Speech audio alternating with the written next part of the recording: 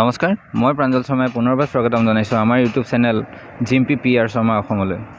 সমাগত পূজা আৰু পূজাৰ লগত সংগতি ৰাখি আপোনালোকৰ মাজলৈ লৈ আহিছোঁ মোৰ আন এটি ভিডিঅ' মোৰ পিছফালে দেখিছে মাৰ মৃন্ময় মূৰ্তি মাৰ মৃন্ময় প্ৰতিমা প্ৰস্তুত কৰি থকা হৈছে। হয় মই আজি উপস্থিত হৈছোঁহি এটা মৃৎশিল্পী প্ৰতিষ্ঠানত। ইয়াত উপস্থিত হোৱাৰ এটা কাৰণ আছে।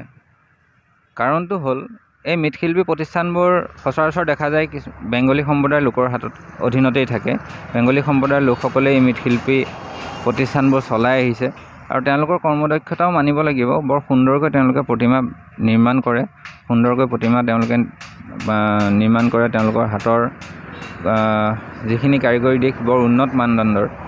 কিন্তু আজি মই যিটো প্ৰতিষ্ঠানত উপস্থিত হৈছোঁহি সেইটো কোনো বেংগলী সম্প্ৰদায়ৰ লোকৰ নহয়। সেই প্ৰতিষ্ঠানটো হৈছে দুজন অসমীয়া যুৱকৰ। আৰু সেইবাবেই মই আজি এই ভিডিঅ'টো বনালোঁ। দুজন কৰ্ম উদ্যমী অসমীয়া যুৱকে স্থাপিত কৰি তুলিছে গঢ় দি তুলিছে এই মৃৎশিল্পী প্ৰতিষ্ঠানটো। আৰু এই কৰ্ম উদ্যমী যুৱক দুজনৰ লগত চিনাকি কৰি দিয়াৰ মানসেৰে মই আজি এই ভিডিঅ'টো প্ৰস্তুত কৰিলোঁ। আৰু সেই কৰ্ম উদ্যমী অসমীয়া যুৱক দুজনক কিন্তু ভাওনাৰ লগত জড়িত যিমানসকল কলা কৌশলী আছে যিমানসকল শিল্পী আছে তেওঁলোক সকলোৱে চিনি পায়। কাৰণ তেওঁলোক ৰূপসজ্জা দৃশ্যসজ্জা সাজসজ্জাৰ লগত জড়িত। খুব সুন্দৰ তেওঁলোকে ৰূপসজ্জা কৰে দুই ভাতৃদ্বয়ে বৰ সুন্দৰকৈ ৰূপসজ্জাও কৰে।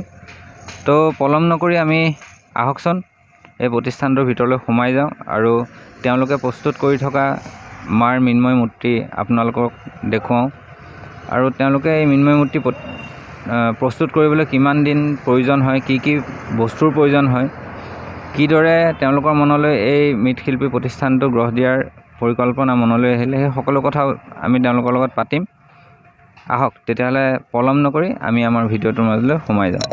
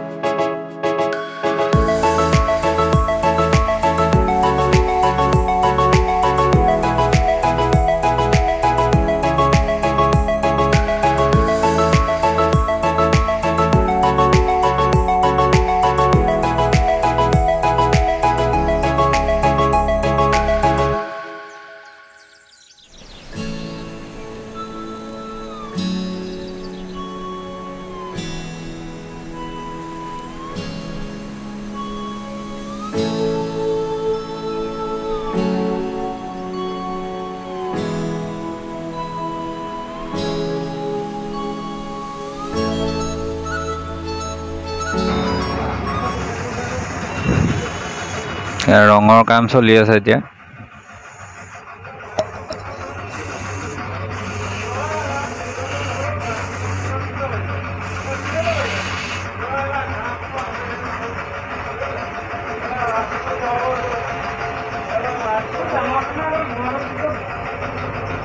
চিনাকি হওঁ সেই দুজন অসমীয়া যুৱকৰ লগত যাৰ হাতৰ পৰশত প্ৰাণ পাই উঠিছে মাৰ মৃন্ময় প্ৰতিমাই।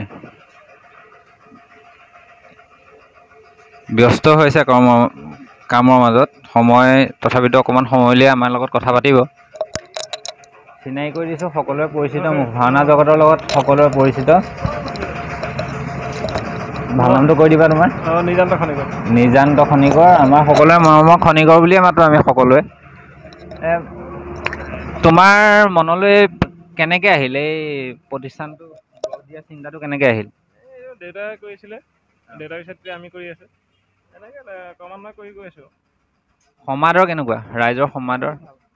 খুব ভাল।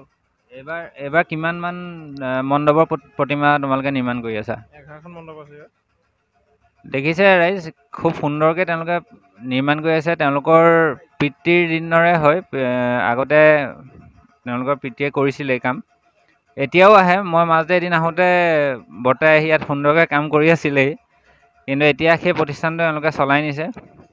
আগতকৈ সমাদৰ বেছি লাভ কৰিছে আৰু আপোনালোকৰ যদি সঁহাৰি পায় তেতিয়াহ'লে তেওঁলোক এই দুজন যুৱক আৰু এই প্ৰতিষ্ঠানটো আগ আগবঢ়াই নিব পাৰিব। এই এই প্ৰতিমাবোৰ নিৰ্মাণ কৰোঁতে কিমান দিনৰ প্ৰয়োজন হয় খনিকৰ প্ৰতিমালৈ টাইমটো নিৰ্ভৰ কৰে। কিছু কিছু প্ৰতিমাত এমাহ সময়ো লাগি যায় কিছু প্ৰতিমাত দহ বিছ দিনৰ ভিতৰত হৈ যায় এনেকুৱা। তোমালোকে অকল এই দুৰ্গা পূজাৰ প্ৰতিমাই নিৰ্মাণ কৰা নে বেলেগো কৰা? মানে যি- যি ধৰণৰ ৰাইজে বিচাৰে সকলো ধৰণৰ প্ৰতিমাই হয় চিমেণ্ট মাটিৰ পৰা আদি কৰি মাটিৰ কামলৈকে। দুৰ্গা বুলি নহয় যি যি প্ৰতিমা অৰ্ডাৰ হয় সকলো প্ৰতিমাই কাম কৰি যোৱা হয়। তো ৰাইজ আপোনালোকে যিকোনো প্ৰতিমা ইয়াত আপোনালোকে এই যুৱকৰ হাতেদি নিৰ্মাণ কৰাব পাৰিব। চিমেণ্টৰ প্ৰতিমাও তেওঁলোকে নিৰ্মাণ কৰে। নামঘৰৰ গেটৰ প্ৰতিমা হওক কোনোবা মন্দিৰৰ তোৰণৰ প্ৰতিমা হওক সকলোখিনি এওঁলোকে এওঁলোকৰ হাতেৰে নিৰ্মাণ কৰে।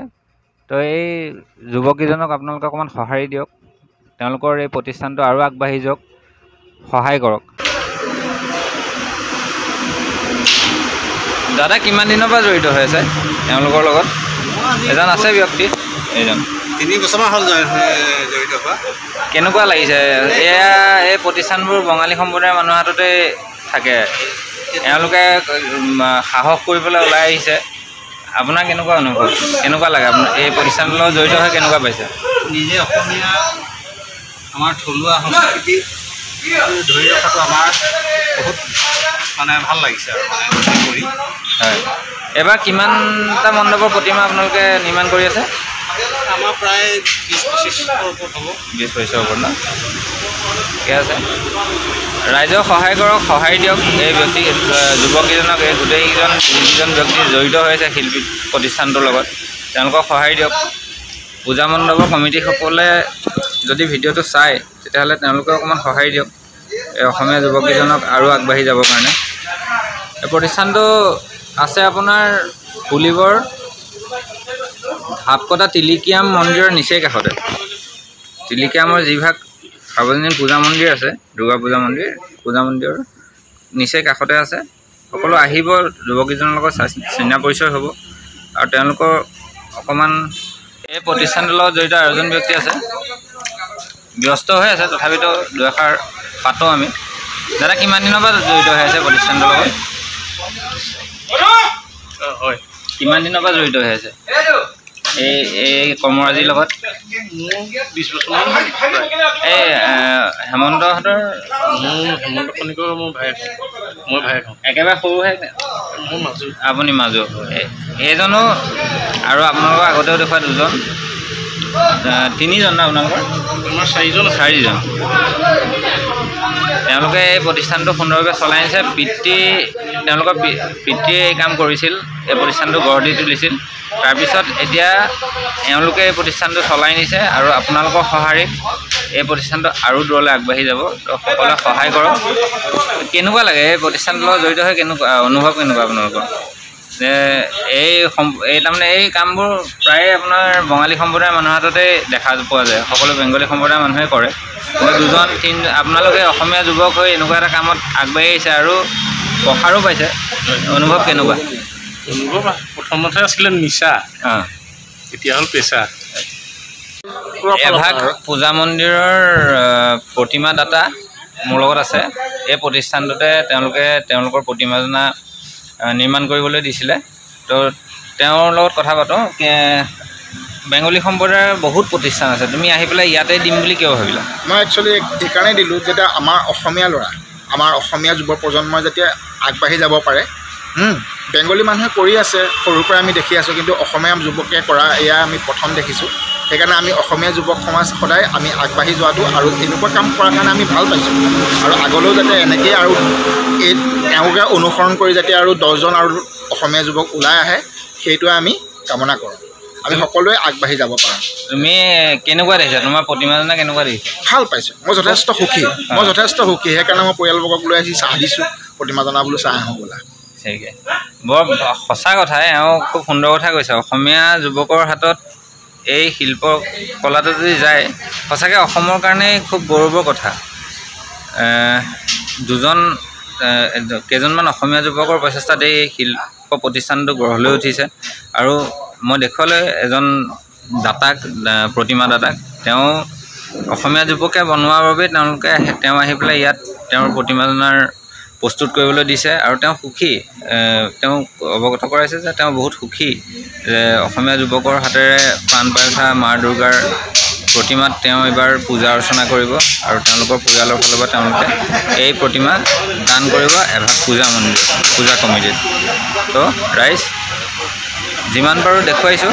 আজি আপোনালোকক দেখুৱালোঁ কেইজনমান অসমীয়া যুৱকৰ প্ৰচেষ্টাত গঢ় লৈ উঠা এটা মৃৎশিল্পী প্ৰতিষ্ঠান।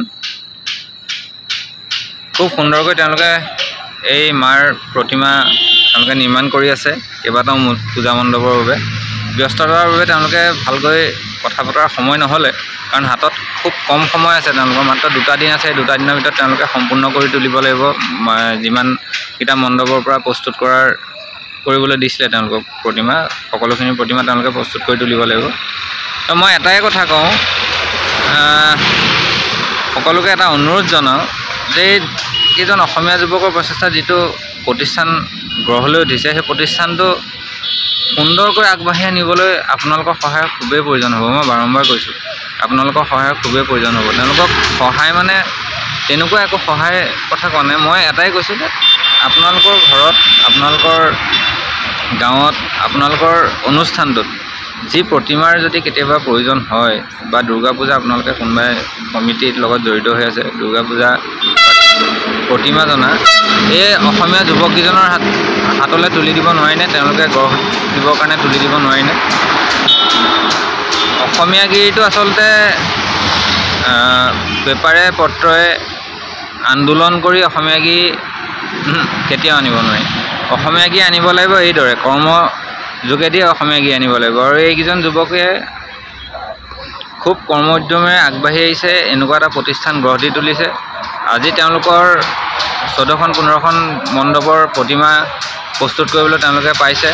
আৰু আপোনালোকে যদি সহায় কৰে আপোনালোকে যদি প্ৰতিজন ব্যক্তিয়ে তেওঁলোকক সহায় কৰে তেন্তে অনাগত বছৰবোৰত তেওঁলোকৰ সেই মণ্ডপবোৰ বাঢ়ি বাঢ়ি গৈ থাকিব আৰু প্ৰতিষ্ঠানটো লাহে লাহে ওপৰলৈ গৈ থাকিব। তো অকণমান চিন্তা কৰি চাবচোন এনেকৈ কেনে অসমীয়া গীত কৰিব পাৰি নেকি? ধন্যবাদ। আজিলৈ আহিছোঁ।